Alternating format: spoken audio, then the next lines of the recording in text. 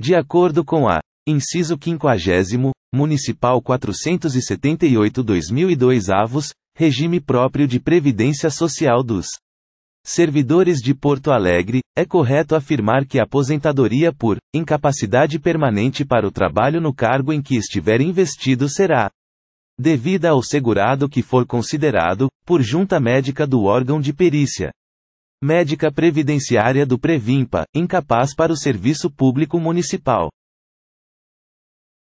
Analisando a questão, você responde: verdadeiro ou falso?